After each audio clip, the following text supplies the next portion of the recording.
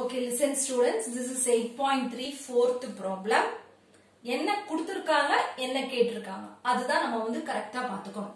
If tan a is equal to cot b given. என்ன கொடுத்துட்டாங்க? Tan a is equal to cot b ன்னு கொடுத்துட்டாங்க. என்ன கொடுத்துட்டாங்க?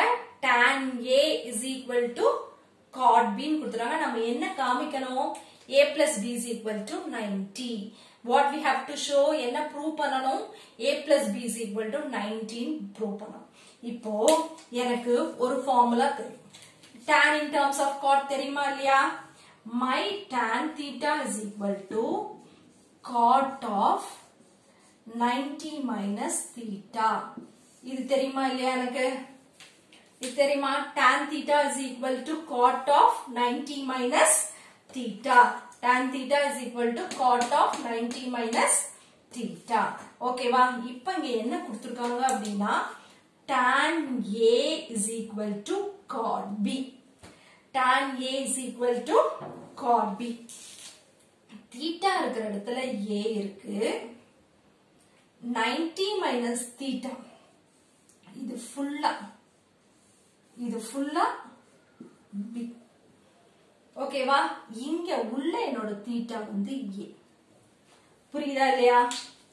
தீட்டா வந்து ஏ உள்ள என்னோட தீட்டா வந்து ஏ இது ஃபுல்லா B okay is it clear இப்ப நான் இது ரெண்டையுமே ஈக்குவேட் பண்றேன். 90 இது ரெண்டையும் நம்ம ஈக்குவேட் பண்ணும்போது என்ன வரும்? இப்ப டேன் ஏ இப்ப நான் எழுதுறேன் பாருங்க. Tan A is equal to cot of 90 minus a.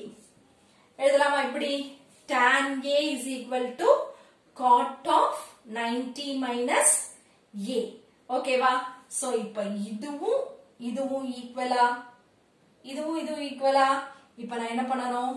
இதையும் இதையும் equate பண்ணணும். என்ன பண்ணணும்? இதையும் இதையும் ஈக்குவேட் பண்ணும் அப்ப எனக்கு என்ன வரும்? 90 minus A is equal to B ninety பக்கம் இந்த பக்கம் வச்சுட்டு A அந்த கொண்டு பக்கம் அந்த பக்கம் கொண்டு போனேன்னா ninety is equal to B plus A therefore a plus b is equal to 90 வந்துச்சா நமக்கு ப்ரூஃப் சோ நம்ம என்ன ஞாபகம் வச்சுக்கணும் அப்படின்னா tan theta is equal to cot of 90 minus theta. Theta இருக்கிறதுல a போட்டேன்னா எனக்கு formula எப்படி வரும்னா tan a is equal to cot of 90 minus a வரும். So இத ரெண்டையும் எடுத்தேன்னா எனக்கு லெஃப்ட் side ஈக்குவலா இருக்கு. அதனால நான் இதுவும் ஈக்குவல் ஈக்குவேட் பண்றேன். 90 minus a is equal to b.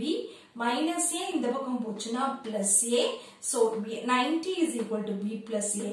So நான் இதை ரீரைட் பண்ணும்போது a plus b is equal to 90 அப்படின்னு வந்துருச்சு. ஓகேவா சோ இந்த ஃபார்முலா நீங்க ஞாபகம் வச்சுக்கோங்க.